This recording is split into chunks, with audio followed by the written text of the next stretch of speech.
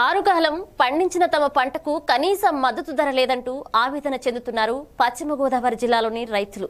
ఏలూరులోని collectorate వద్ద తాము పండించిన దొండకాయలతో పాటు ఇతర కూరగాయలని రోడ్లపై పారబోసి నిరసన తెలిపారు రైతులు.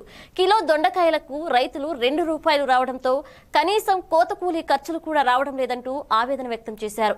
నిరసన చేస్తున్న రైతుల వద్ద నుండి మా ప్రతినిధి భరత్ మరిన్ని వివరాలు అందిస్తారు.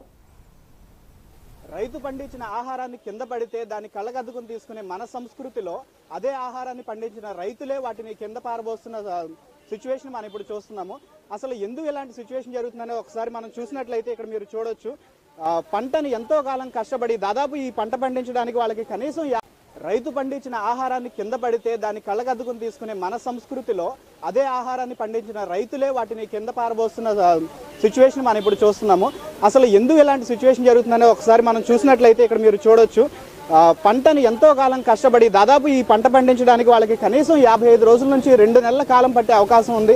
అలాంటి కష్టపడిన తరుణంలో కూడా ఆ పంటను తీసుకొచ్చి రెండు నిమిషాల్లో ఇలా నేల మీద పడేయాలి అంటే వాళ్ళ బాధ ఎంతగా వాళ్ళు బాధపడుతున్నారు అనేది వర్ణనాతీతం.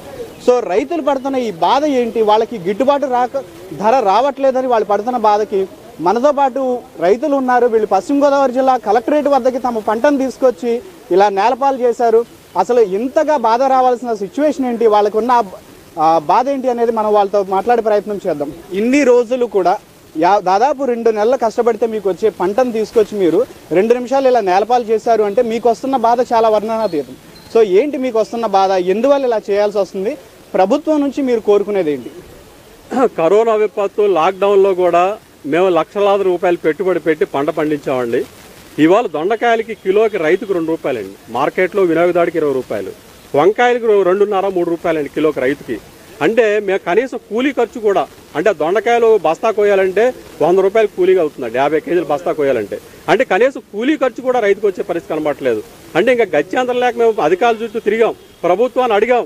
మా కూరగాయలు మార్కెటింగ్ కల్పించండి మా కూరగాయలు కొనండి అని చెప్పేసి అడిగాం. కానీ కనీసం పట్టించుకున్న పరిస్థితి కనపట్లేదు అంటే వాళ్ళు ఒక దొండపాదకి ఎకరానికి మూడు లక్షల రూపాయలు పెట్టుబడి పెట్టామండి ప్రైవేట్ అప్పులు తీసుకొచ్చి పెట్టి పెట్టారు.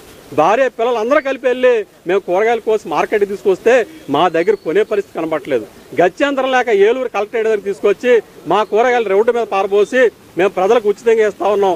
అవసరమైతే మేకలకి దోళ్ళకు కూడా ఉచితంగా అది దాన కింద పెట్టే దానికోసం తప్ప మాకు ఎందుకు ఉపయోగపడట్లేదు. ఇవాళ అప్పులు పాలైపోయామండి. ఇవాళ చేసిన అప్పులు తీర్చే మార్గం లేదు. మాకు ఆత్మహత్యలు తప్ప మరో గత్యంతరం కనపడలేదు ఆ కూరగాయలు కనీస ధరలు కల్పించి రైతును ఆదుకోవాలని చెప్పేసి కోరుతా ఉన్నాం. మేము నష్టపోయాం కాబట్టి మాకు నష్టపరిహారం ఇవ్వాలని చెప్పేసి కోరుతా ఉన్నాం. కూరగాయలు రైతులను ఆదుకోవాలని చెప్పి కోరుతా ఉన్నాం.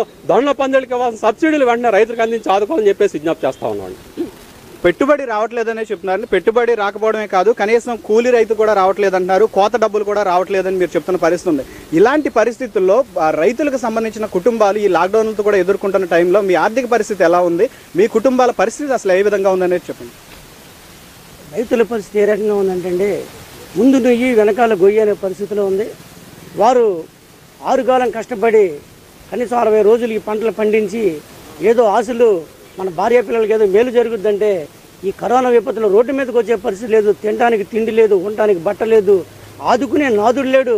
కనీసం మద్దతు ధర ప్రకటించి ఏదన్నా ఇది దీనికి ఒక రకమైన ధర వస్తే దీనిని నమ్ముకుందామంటే ట్రాన్స్పోర్టేషన్ లేదు.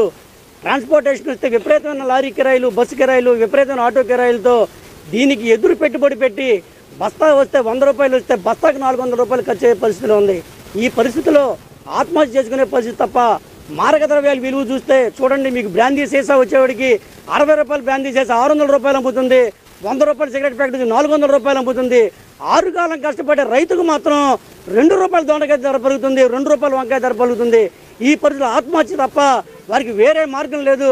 వెంటనే ప్రభుత్వాలు కళ్ళు తెరవాలి. ప్రభుత్వాలు దీని దీని మీద సమగ్రమైన దర్యాప్తు చేసి కంపల్సరీగా రైతులను ఆదుకోకపోతే రెండో తరం రెండో పంట వేసుకునే పరిస్థితే లేదు.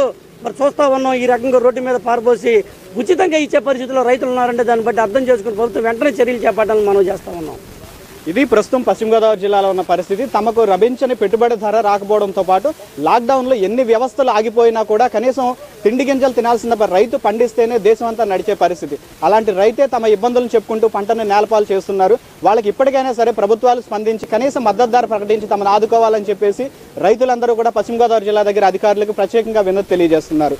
Cameraman మహితో Bharat A one TV Paschima Godavari జిల్లా ఏలూరు నుంచి. తూర్పు గోదావరి